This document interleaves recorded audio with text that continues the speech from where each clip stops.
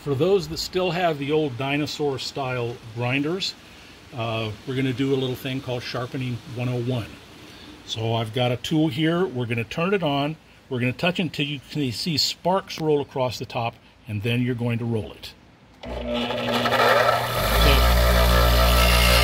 my sparks, and I roll,